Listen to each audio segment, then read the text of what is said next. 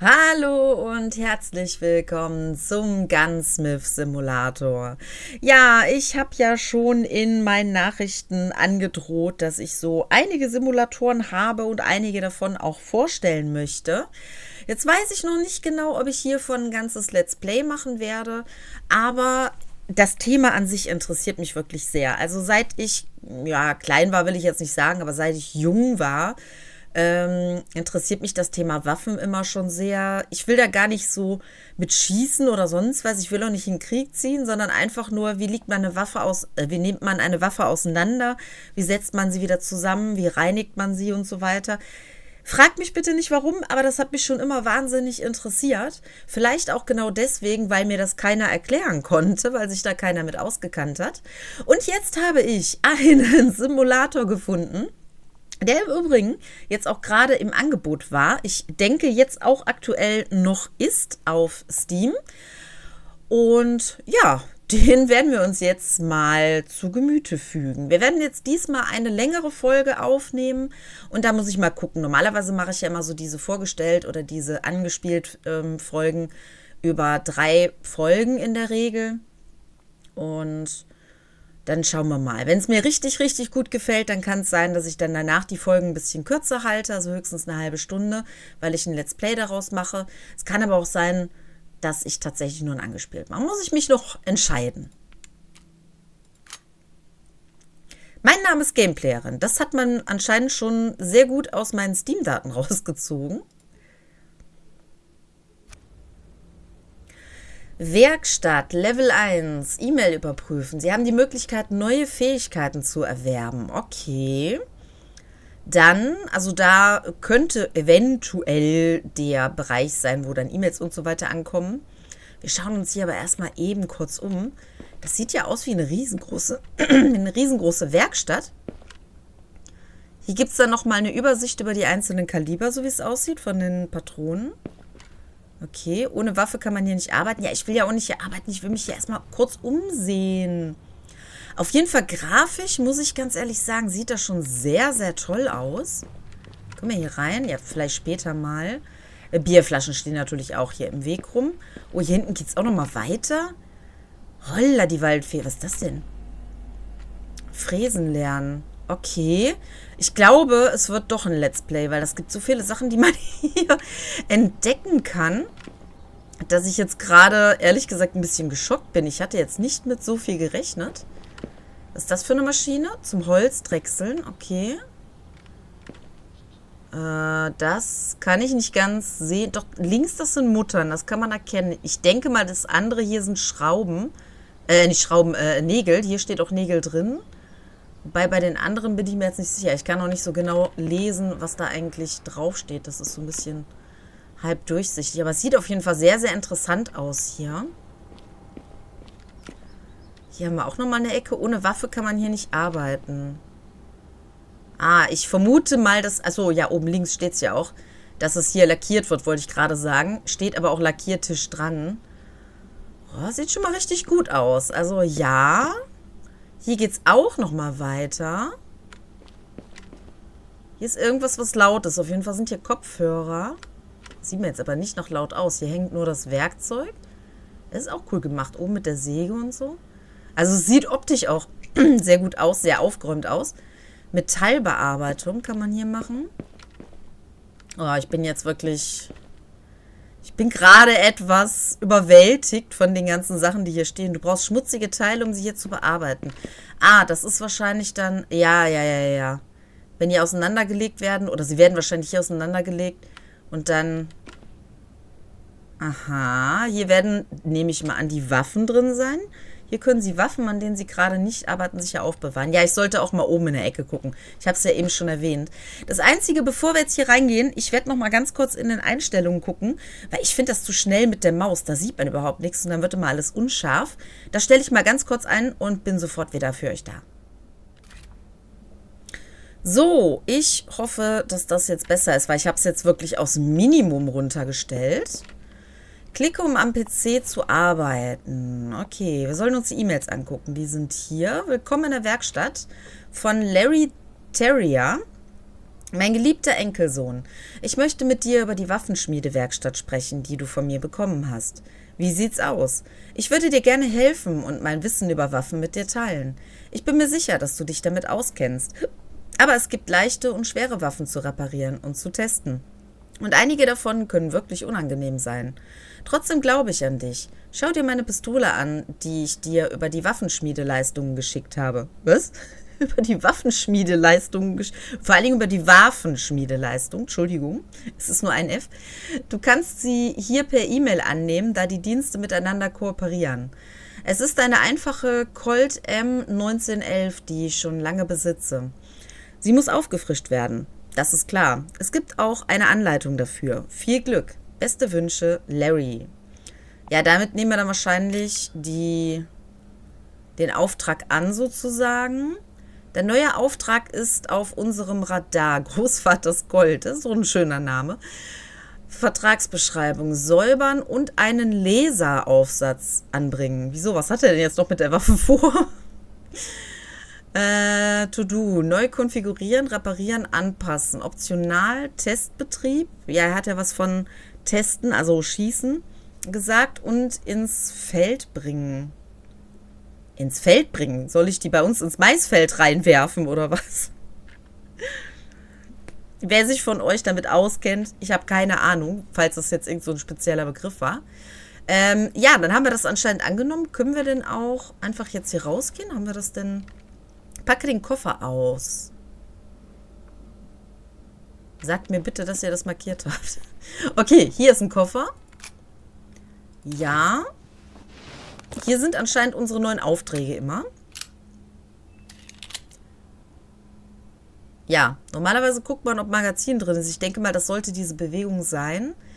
Eine halbautomatische Pistole, die in ihrer Grundkonstruktion das Prinzip des kurzen Rückstoßes nutzt. Entwickelt im Jahr 1911, oh, die ist schon was älter, von John Browning. Dank ihrer einfachen Konstruktion weiterhin kopiert. Es wird angenommen, dass der Colt M1911 die beste Kurzwaffe ihrer Zeit war. Colts sind generell nicht schlecht, ne, muss ich dazu sagen.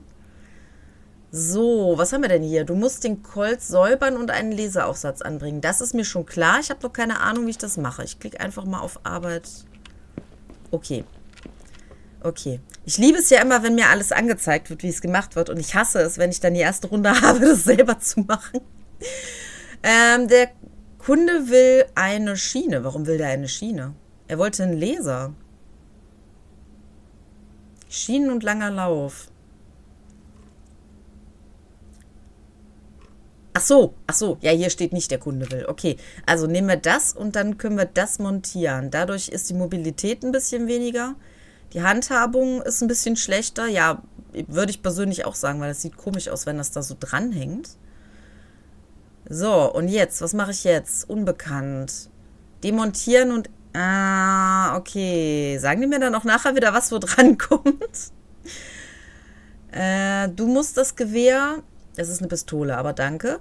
In seine Einzelteile zerlegen, um es zu reparieren. Auswurf. Müssen wir den als erstes machen? Ich habe ehrlich gesagt keine Ahnung, was wo ist. Kann man das drehen? Anscheinend... Ne, ich kann nur hier das Bild ein bisschen drehen. Halten zum Löschen. Ich will das nicht löschen. Achso, löschen meinen die damit rausholen. Okay. Magazin ist draußen. Schon mal sehr wichtig. Äh, ich finde aber jetzt den Auswurf nicht. Es geht schon los, ihr Lieben. Ich kann das Ding nicht drehen. Das ist gerade mein Problem. Ich würde jetzt sagen, Auswurf ist irgendwas, ne, hier unten, wo was rausgeworfen wird, wie das Magazin. Oder von mir aus noch vorne am Lauf, wo dann äh, die Pistole rauskommt oder so. Auswurf kenne ich nicht. Ah. Moment, was war das jetzt hier nochmal? Stopfen der Rückstoßfeder. Die soll ich auch rausnehmen. Also ich soll anscheinend alles rausnehmen, oder? Ich bin mir nicht sicher. Abzugsstück. Das markiert der nicht. Oder ist das da nicht mit gemeint? Magazinverriegelung. Haben wir die auch? Die haben wir auch. Halten zum Lösen. Gleich ist das Ding komplett auseinandergenommen und ich habe alles falsche Sachen rausgeholt. Moment. Nein. Ich kann mir das anzeigen lassen. Aber jetzt ist es rot. Moment. Äh? Ja, er zeigt es mir an. Aber er zeigt es mir hier rot an. Nein, doch. Wieso zeigt er mir das rot an? Das ist die Laufbuchse. Die sollen wir auch rausnehmen? Ach so, weil ich das wahrscheinlich... Moment. Ich nehme jetzt das ganze Ding einfach auseinander. Ich werde jetzt was machen, was ich im Leben nie wieder äh, richtig machen kann. Wie ich befürchte. Ich nehme jetzt einfach alles hier raus. So. Ich denke mal, das ist auch tatsächlich so ge gewollt.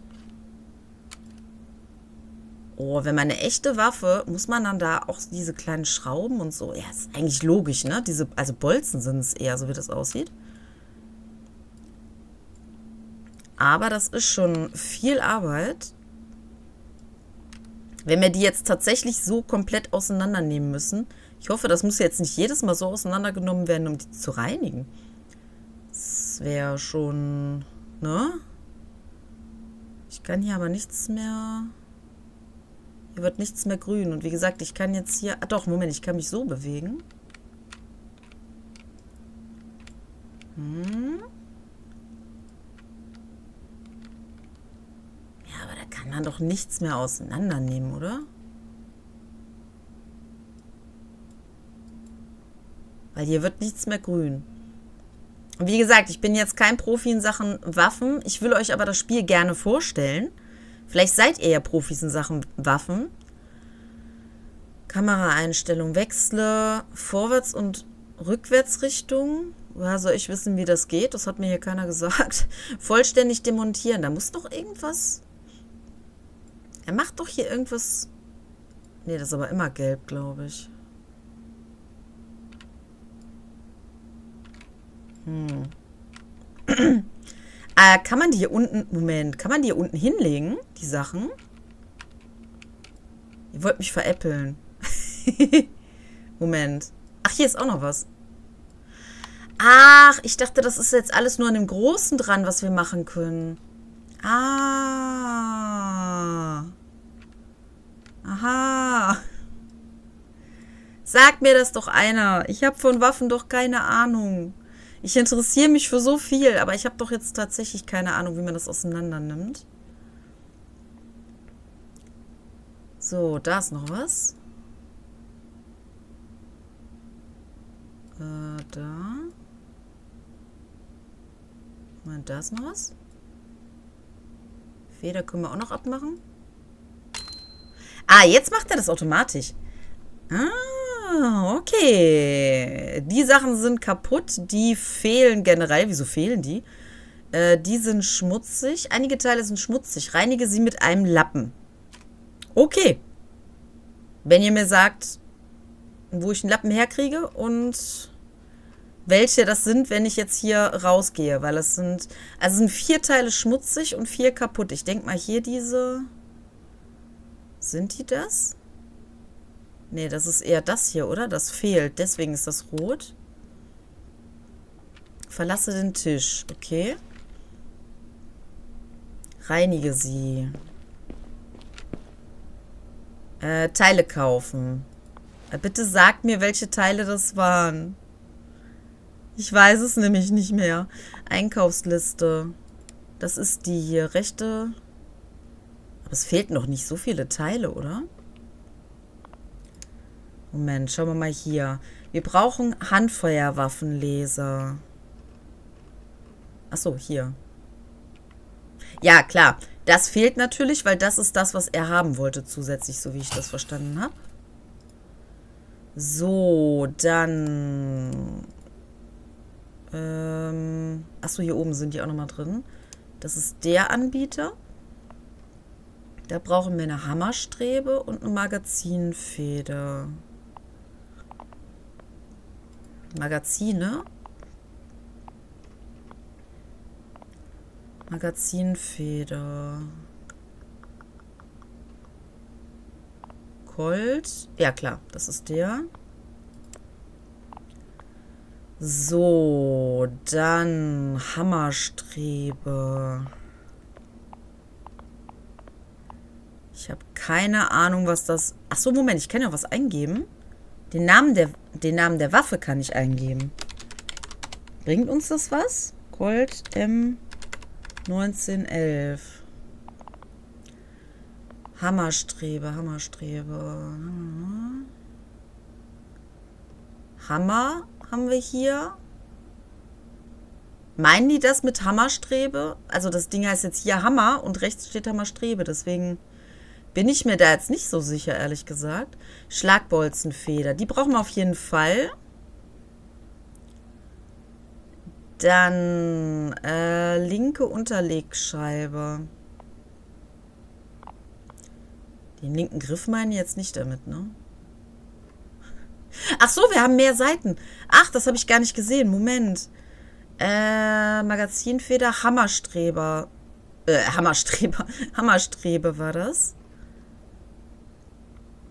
Hammerstrebe. Gib deine Suche an. Bleibt das dann hier drin mit der Waffe, wenn ich Hammerstrebe eingebe? Wenn ich es denn eingeben könnte und mich nicht vertippen würde. Hammerstrebe, hier. Ja, das ist doch cool. Dann Unterleg. Linke Unterleg Schiene. Habe ich eben Schreibe gesagt? Oh mein Gott, ich kann heute auch nicht mal richtig lesen. Rechte untergebaute Schiene. Rechte untergebaute Schiene. Das brauchen wir noch. Und Abzugs... Äh, was? Abzugsstückfeder.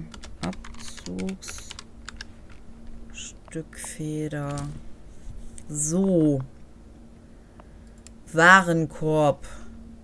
Da muss der Opa mir aber viel Geld geben hier, ne? Ist nicht mal eben so. So, wurde bestätigt. Zurück zum Shop, einmal raus. Nimm die Teile. Ich liebe diesen, diesen kurzfristigen 24-Stunden-Service. Ähm, das macht man hier. Ne, das ist der Reinigungstisch. Moment, neue Teile müssen auf den Montagetisch gelegt werden. Das sind die verschmutzten Teile. Achso, die waren schon ausgewählt. Die legen wir mal hier hin. Putzlappen aufheben. Oh, das kann ich. das habe ich bei ganz vielen anderen Spielen auch gemacht. Wobei es hier sehr viel schneller geht, muss ich sagen. Wieso ist er noch nicht fertig? Hallo? Haben wir hier irgendwas übersehen? Kann man das Ding... Kann man noch nicht drehen, ne?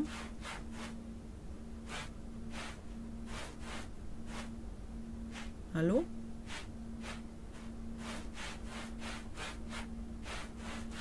Das zeigt ja an, dass das fast fertig ist. Hallo? Es ist ja nur noch dieses Fisselchen, dieses kleine Stückchen. Boah, das war jetzt nicht die Kante hier unter dem Bild, oder?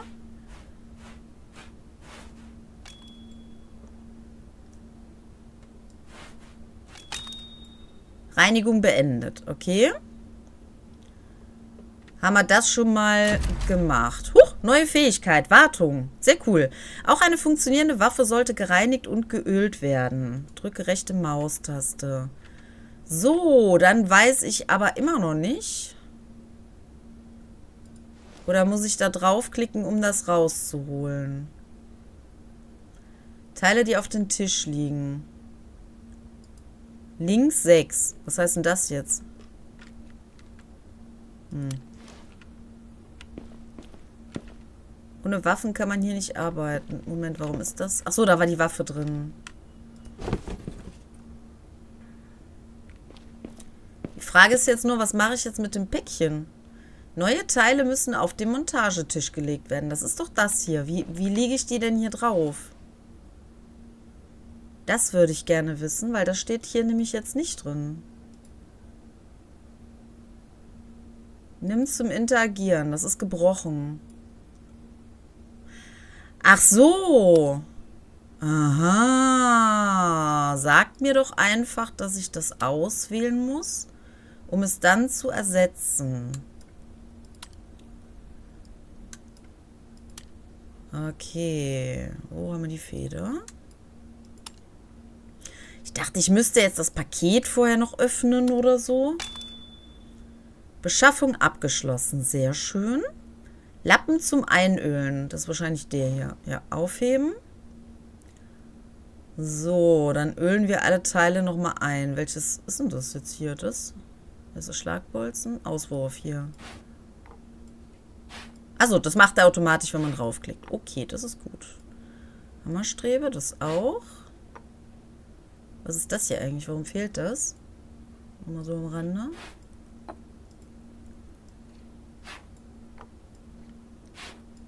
Eigentlich schade, auf der anderen Seite aber auch wieder gut, dass ich das jetzt hier nicht alles einölen muss. Weil wenn das nicht so ganz präzise ist, würde das jetzt auch nochmal entsprechend länger dauern. Habe ich mich gerade erschrocken. Okay, Wartung abgeschlossen. Zusammenbau der Teile. Oh mein Gott. Ähm, jetzt kommen wir zu dem Teil, vor dem ich am meisten Angst hatte. Auswurf. Das ist das. Jetzt kannst du deine Waffe zusammenbauen, um sie wieder ganz zu machen. Und wie? Ach so, halte zum Einfügen. Ach, der macht das automatisch. Ah, sehr schön. Sehr schön. Ich mag euch. Ich mag euch sehr. Ich lerne auch dadurch, dass ich äh, schaue. Ich werde es wahrscheinlich niemals behalten, aber ich lerne auch durchs Zuschauen. Ich dachte schon, ich muss jetzt tatsächlich hier alles alleine wieder zusammenfügen und muss dann herausfinden, was wohin kommt. Also, haben wir jetzt schon mal rausgefunden, das Spiel ist auch für Doofköpfe wie mich, die sowas nicht können und keine Ahnung davon haben. Die können es trotzdem machen. Also macht mir das jetzt gerade doppelt Spaß. Okay, dann die Feder. Hat er die jetzt reingemacht? Ja, ne? So. Ja, die ganzen Bolzen, die da drin waren. Ich sehe jetzt gerade nicht so viel. Machen wir erstmal die Seite rein. Warum können wir die noch nicht? Jetzt können wir die auch... Warum müssen wir erst die eine und dann die andere Seite?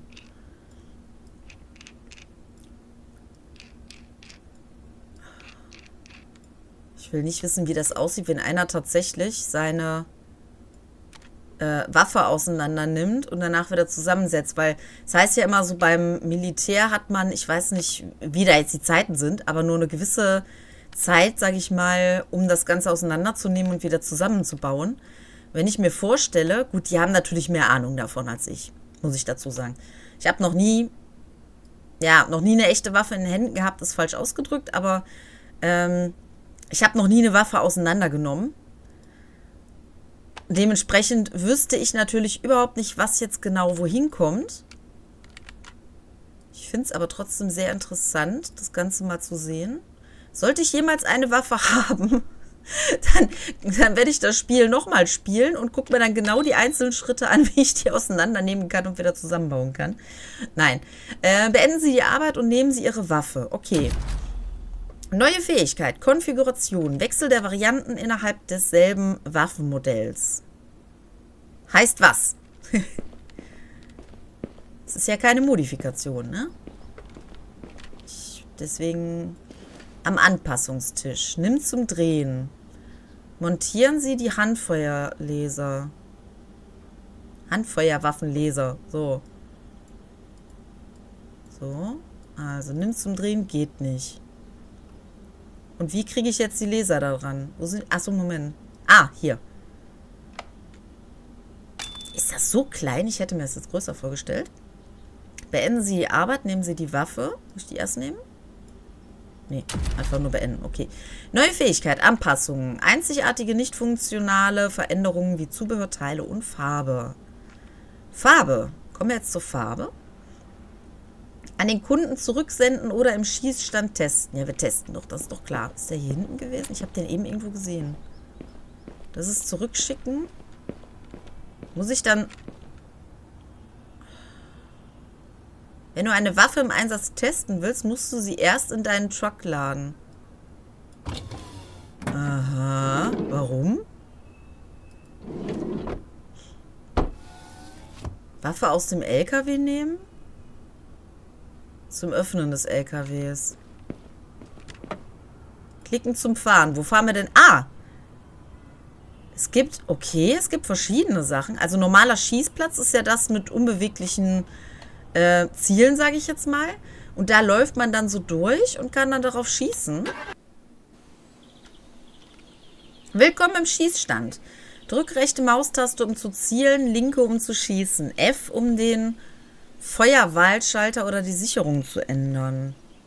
Okay. Wenn du mehrere Waffen mitbringst, kannst du sie mit 1, 2, 3, 4 ausrüsten. Einige Waffen haben variable Eisenvisiere oder ein Zielfernrohr, das auf eine genaue Entfernung eingestellt werden kann. Stelle sie mit, der, mit dem Mausrad ein. Achso, dann kann man aber nur hier einstellen. Wahrscheinlich nicht oben bildlich, oder? Du bist nicht auf eine bestimmte Menge an Munition beschränkt. Du kannst hier überprüfen, wie viel du in der Kammer, dem Clip oder dem Magazin hast. Also mit anderen Worten, wir haben unendlich viel Schuss, aber es sind immer nur sieben Stück in der Kammer drin. Äh, beziehungsweise in, nicht in der Kammer, sondern im Magazin drin. Wenn du die Tastenbindung vergessen hast, findest du sie in diesem Bereich. Achso, das ist gut. Das ist sehr schön. Vielen lieben Dank an die Entwickler. Ihr habt euch wirklich Gedanken gemacht, weil es da auch Leute gibt wie mich, die alles vergessen sofort, nachdem sie es gehört haben oder gelesen haben. Ähm, Play Shooting.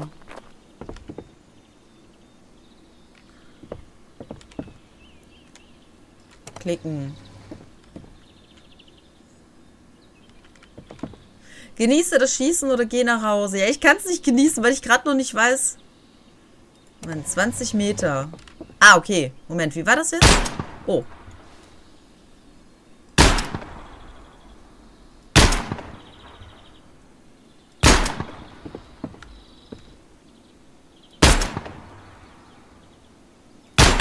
Ups. Nein. Drücke er.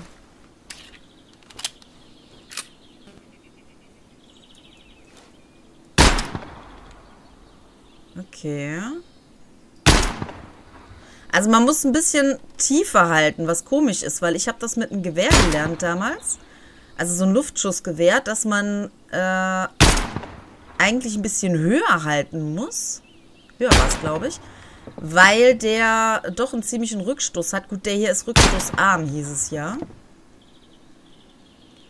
Wenn ich das genau auf dem Weißen mache, ne, unter dem Weißen, dann geht er nämlich immer noch auf die 9. Naja, gut, okay. Ist ja jetzt nur mal, um das zu probieren. Äh, irgendwas, um abzuschließen. Ich kann das nicht lesen da oben.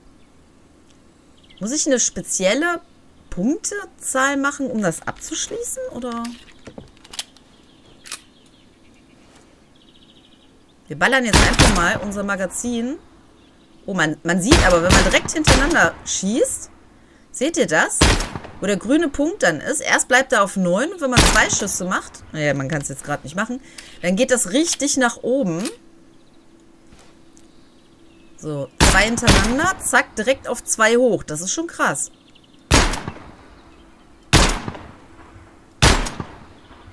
Also, liebe Polizisten und auch sonst alle anderen, die äh, schießen müssen während ihrer Arbeit, immer hintereinander, also niemals hintereinander schießen, sondern immer äh, kurz zwischendurch zurückhalten.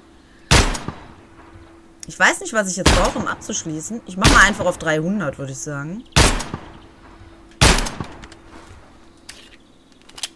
Entweder funktioniert das oder das funktioniert halt nicht. Halte den Atem an. Moment. Links Shift. Okay. Laser umschalten. Ähm, Steuerung. Egal, ob ich jetzt gedrückt halte oder nicht. Da passiert nichts. Aber beim Atmen anhalten... Ah, doch, da war, glaube ich, gerade was Rotes, oder? Konnte ich da was sehen? Ich weiß es nicht. Wir haben unsere, unsere 300 durch. Ah, doch, ja. Hier. Lese an, lese aus. Okay. Kann nicht mit dieser Waffe arbeiten. Ja gut, ich will auch nicht damit arbeiten, ich will es ausprobieren. Klicke, um Anpassungen zu bearbeiten. Zubehörteile entfernen. Klicke zum Öffnen. One Mac Challenge. Lade bis zu 10 Schuss und schließe auf. Äh, und schieße auf die erscheinenden Ziele. Wenn du nachlädst, ist die Runde vorbei. Okay. Ja gut, ich habe ja nur 7 Schuss. 60 Sekunden, schieße so viele Ziele wie möglich in 60 Sekunden ab. Scharfschütze, ein Ziel erscheint und du musst es schnell und präzise abschießen. Und das, was wir jetzt gemacht haben, ist jetzt freies Schießen gewesen. Ah, okay. Hätte ich mir vorher angucken sollen. Aber gut. Und was ist das hier hinten? Da gehen wir noch mal kurz hin. Das ist nur... Hm, oder? Trap-Schießen. Schieß von einer Position aus auf Scheiben, die vor dir wegfliegen. Oh, sowas habe ich immer gehasst. Wettbewerbs-Skeet. Skeet-Schießen nach den Wettbewerbsregeln. Okay, aber nicht mit einer Pistole. Das ist, glaube ich, nicht so toll. Ich denke mal, hier läuft eine Katze rum, wenn ich hier die Dinger rumfliegen sehe. Okay, ja, dann haben wir das aber auf jeden Fall auch mal gesehen und getestet. Sieht auch ganz hübsch aus hier. Also auch grafisch, muss ich sagen. Doch, gefällt mir auf jeden Fall. Dann müssen wir die diesmal nicht mehr reintun, sondern können direkt drüber. Das ist gut.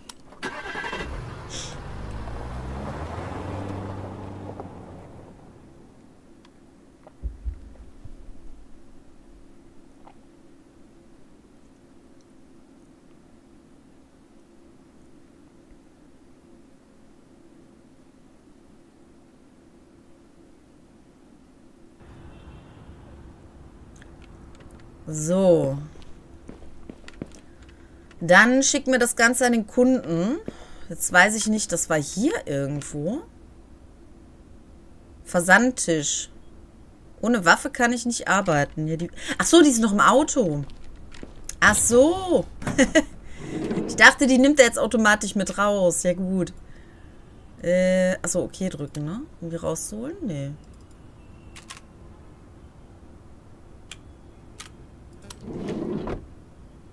Okay, das war jetzt ein bisschen unlogisch. Ich muss die quasi ablehnen mit X, damit ich sie rausholen kann. Na gut. Gut.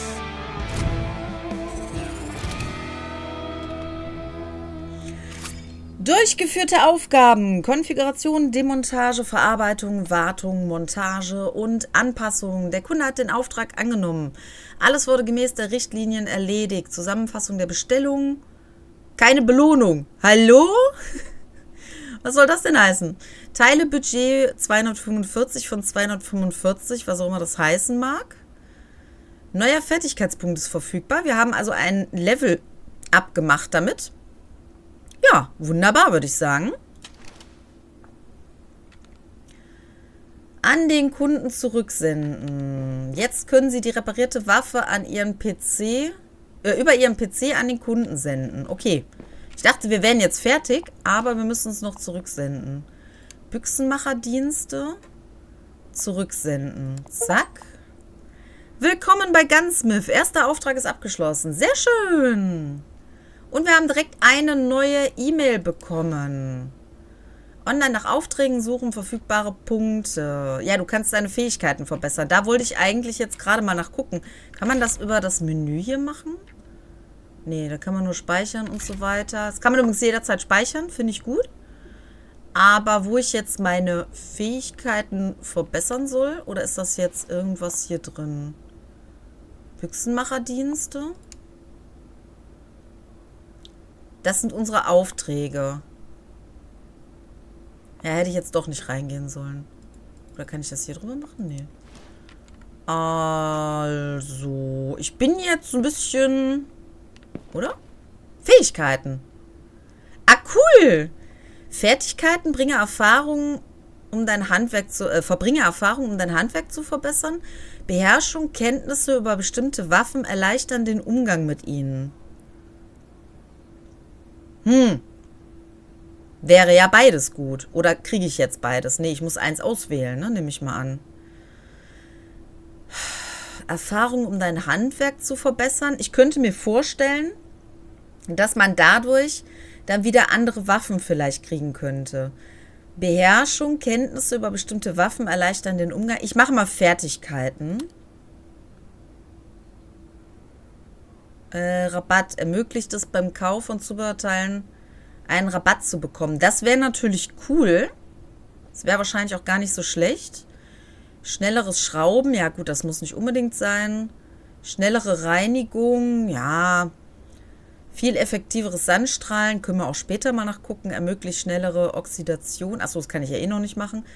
Ähm, Rücken soll wohl zurückheißen, nehme ich mal an.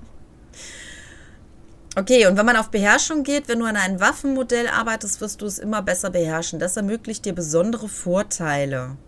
Kompetent, erfahren ermöglicht das schnelle Zerlegen dieser Waffe. Meister ermöglicht die schnelle Montage und Demontage. Gut, würde ich natürlich auch gerne machen, ist aber, glaube ich, jetzt nicht so wichtig. Ich denke mal tatsächlich, das Wichtigste wären die 5% hier. Da werde ich jetzt erstmal den Punkt reinmachen. Und auf den Rücken drücken. Ja, wunderbar, ihr Lieben. Ich weiß, ich habe da nicht so die Ahnung von und ich weiß, ich, ähm, für mich ist das alles so ein bisschen in den Kinderschuhen und dass ich das alles lernen muss und so weiter. Aber ihr habt sicher einen guten Einblick, denke ich mal, jetzt von dem Ganzen bekommen. Und ich bin ganz ehrlich, ich bin begeistert, wie das Ganze aussieht, was man ja alles machen kann, was man schon angedeutet hat, was man später noch alles hier machen kann. Also ich äh, habe totales Bock, ehrlich, totales Bock, genau, totalen, total Lust, so, darauf, hier weiterzumachen und da auch ein Let's Play von zu machen. Leider kann ich die natürlich jetzt nicht alle so hintereinander machen, wie ich die gerne möchte, weil diese Let's Plays dauern natürlich ziemlich lange. Je nachdem, was das für ein Spiel ist, bis man vielleicht ein bisschen ins freie Spiel kommt oder so. Ähm, oder eigentlich ist es ja schon fast das freie Spiel, was wir jetzt äh, bald machen. Ich sag mal so 20, 30 Folgen wird man normalerweise immer machen bei so einem Simulationsspiel. Also ich kenne jetzt keins, was jetzt nicht so lange dauert. Ich bin gerade noch an ein, zwei anderen Simulationsspielen dran. Die würde ich schon gerne zu Ende machen oder zumindest so weit machen, wie es jetzt im Moment das Spiel zulässt. Ich meine, da kommen ja auch immer mal Erweiterungen dann rein. Die werden wir dann auch auf jeden Fall in Zukunft noch machen. Und ich sage da jetzt einfach mal Aquarist beispielsweise. Da habe ich ja jetzt auch mehr oder weniger gerade erst angefangen, habe jetzt so 15 Folgen oder so, glaube ich, bisher aufgenommen, sind noch nicht alle hochgeladen bzw. freigegeben. Aber ich muss ganz ehrlich sagen, es macht mir schon sehr großen Spaß. Also ich werde auf jeden Fall das gleiche hier machen, wie ich das auch mit dem Modellbau äh, vorhabe. Nämlich, dass ich jetzt erstmal drei Folgen dazu aufnehme und dann entsprechend hochlade. Das werde ich dann noch hier machen, damit wir mal ein paar andere Sachen auch noch kennenlernen, weil da werden bestimmt auch noch Leute drin sein, wo wir dann Sandstrahlen benutzen müssen, wo wir dies benutzen müssen, das machen müssen, wo wir es lackieren, also anders lackieren müssen in einer anderen Farbe und so weiter. Und das sind natürlich jetzt keine besonders aufregenden Änderungen, sage ich jetzt mal, aber es sind bestimmt auch neue Waffen dabei, die wir uns dann angucken können und ja, also ich habe jetzt auf jeden Fall schon sehr, sehr großen Spaß daran und ich werde es weitermachen. Schreibt mir aber trotzdem gerne in die Kommentare, wie ihr das Ganze gefunden habt. Ob ihr überhaupt Lust darauf habt, das Ganze so anzugucken oder ob ihr meint, ja, drei Folgen sind okay, aber so ein richtiges Let's Play wollen wir jetzt von dem Thema gar nicht haben. Oder ob ihr meint, die Frau ist zu doof dazu, das können wir uns nicht antun. Drei Folgen sind das Äußerste, bloß nicht mehr. Schreibt mir einfach eure Meinung in die Kommentare und ja, danke fürs Zuschauen. Wir sehen uns dann in der nächsten Folge. Ciao! Vielen Dank für dein Like. Wenn du mehr davon sehen möchtest, dann darfst du mich auch gerne abonnieren.